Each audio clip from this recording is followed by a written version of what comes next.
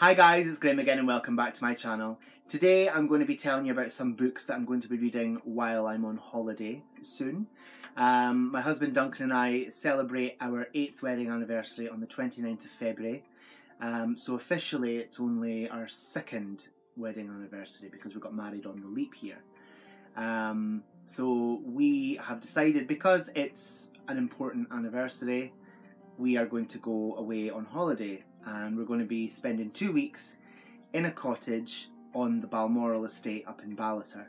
Um, now, Balmoral is obviously where the Queen spends her, I think it's winter that she spends there, um, possibly possibly summer, I can't remember, but the Queen certainly spends a lot of time there. It's her, her Highland retreat. So we have two weeks of blissful quietness in a lovely cottage on on the estate. It sits about three miles away from the castle, and we're going to walk the dogs in the, the grounds of the castle. We're going to eat lots, we're going to drink lots, and we're going to read lots. So the first book that we're going to read, uh, Duncan and I are going to buddy read it. He's going to audiobook it, and I'm going to read the the, the hardcover edition. It's um, me by Elton John. Now we we got this uh, on pre-order and we, we got it with the intention of keeping it until our holiday to read it together. Um, it's been a bit of a struggle because I've wanted to read this for ages since it came out. Since the day it arrived, I've wanted to read this. Um, but we decided that we were going to read it together and that our holiday would be the perfect time to do it. So I'm so excited to get to this. Um, Elton John's autobiography, and it's a beautiful book as well. Um, and his glasses are amazing. And as you've probably noticed, I have new glasses too. um, a little bit of a segue there, but hey. Uh, so yeah, this is going to be our first read, and we're going to read this together. Um, I, I, I can't wait to get to this. I'm so excited. Elton John is just incredible, and I've I must say I have read the first page, and if that's anything to go by, this book is going to be incredible. Um, so yeah, that's our first book that we're going to read together on holiday.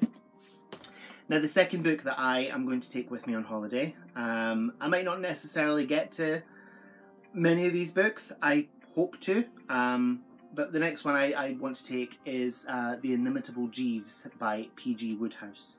Um, collection of short stories, uh, Jeeves and Wooster, and P.G. Wodehouse is all you need to know. I mean, awesome. Uh, and this is a collection of, I think, about how many stories? Lots. um, there's a lot of stories. Um, so that should keep me occupied for a while.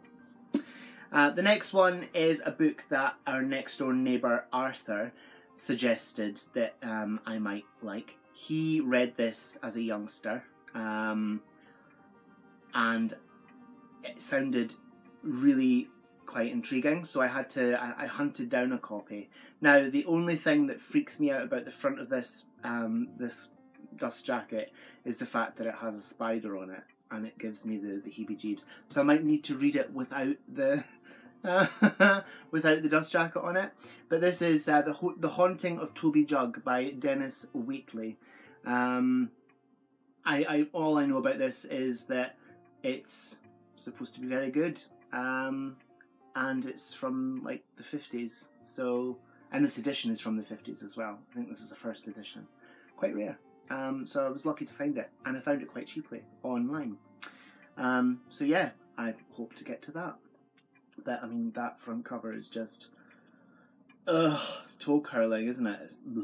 Anyway, so the next one that I plan to take, um, and I hope to get to this one because this has been on my TBR for ages. Um, I think my husband got me this about two Christmases ago or two birthdays ago. It was certainly a gift for, for one of those occasions. Um, and it's Fierce Fairy Tales uh, and Other Stories to Stir Your Soul by Nikita Gill, or Jill. I think, it, uh, I think it's Gill. But look at that front cover. Isn't that just gorgeous? And these, it's feminist fairy tales uh, for young and old. Um, and I'm there for that. Uh, it sounds fantastic. Await no princes to save you. through their lips touching yours, whilst you are whilst you are in unwilling slumber. Wake each other up instead. Step into this world of empowering imagined fairy tales, where the stereotypes of obliging lovers, violent men, and girls that need rescuing are transformed into brave princesses, blurred lines between heroes and villains, and a courage, Gretel, and a courageous Gretel who can bring down monsters on her own. I'm there for it. I can't wait. I hope to get to this one. Um, the next one that I really want to get to uh, is The Cockroach by uh, Ian McEwan. Ian McEwan is one of my favourite contemporary uh, writers, and I really want to get to this because I've, I've heard quite good things. Um, this is about a man who metamorphoses into a cockroach. So that, that'll be interesting. Yeah. And the next one is a collection of five books. Um, my husband bought me these um, about a year ago now, and I've kept them because I've known for a, a, a, long time that we were going on this holiday, and I've kept them specifically for this this reason. They're little quick reads. They are middle grade, but I don't care. Um, one of my favourite Disney movies from childhood is based on one of these books, um, and I can't wait to get to them. It's the the Great Mouse Detective, uh, Crumbs and Clues collection by Eve Titus. There are five books. Um, the titles of the five books are Basil of Baker Street, which the Disney film is is what what, what that's called. Um, Basil and the Cave of Cats, Basil in Mexico, Basil in the Wild West, and Basil and the Lost Colony. So, Basil the Great Mouse Detective is um, named after Basil Rathbone, who originated the, the first sort of um, movie adaptation of uh, Sherlock Holmes. And I am so here for this. I, I didn't know that this this was a thing um, until we recently, well, about a year or so ago, watched uh, The Great Mouse Detective again, and it said based upon a book by Eve Titus, and I was just like, I, I need that in my life. I have to have that. And then when I found out it was five books, I was like, I, I, need them even more, um, because the story continues past what the movie told, and it excites me. Um, so the last two books that I plan to take with me, I probably won't get to. I would like to get to, um, but I thought these kind of fit in with the whole uh, Balmoral uh, trip, really, because these these books involve Balmoral. Um, so the first one is uh, Victoria and Abdul, the true story of the Queen's closest confidant, by Shrabani Basu. Um, now, Abdul um, Kari- Abdul Karim was the Queen's. What was he? What there was a special name for him. Um, he was kind of like her teacher, but there was a name, a, a munshi. He was her munshi. Um, so he he taught her the language of, of his land, uh, which was Urdu, and uh, there are there are rumors that they may have been more close than what what people thought. Um, and I can't wait to get to this. Uh, this, I hope to get to it on holiday. If I don't, then it will be one that I will eventually get to at some point in 2020. Um, so yeah, that excites me.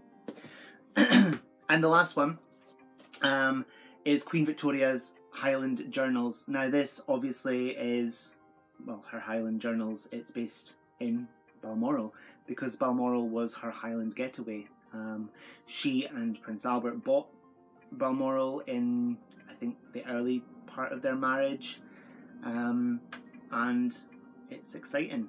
I think it's it's a lovely a lovely book as well.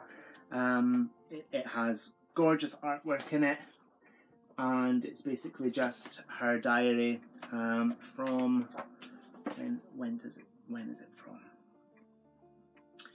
Um, I think it's from the 1860s, so that would tie in uh, to when to when they bought the, the castle, I think.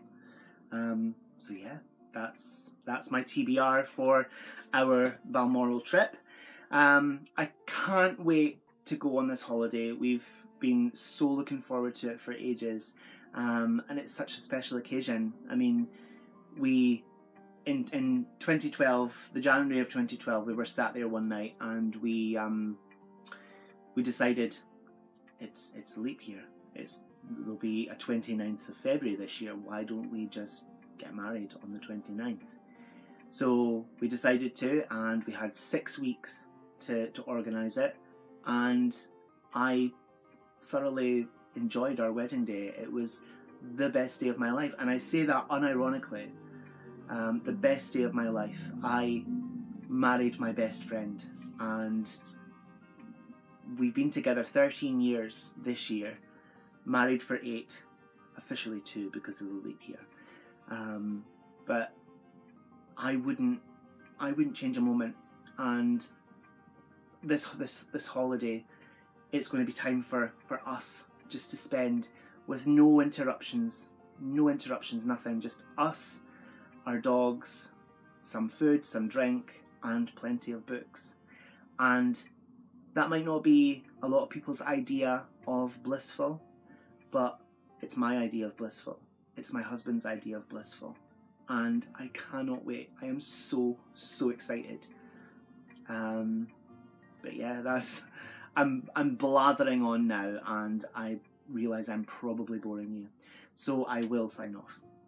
Um, thank you so much for watching. Whatever you're doing, I hope you have so much fun doing it. Whatever you're reading, I hope you love it. Stay fabulous, be amazing, be yourself, and I'll see you again soon for another video. Bye bye.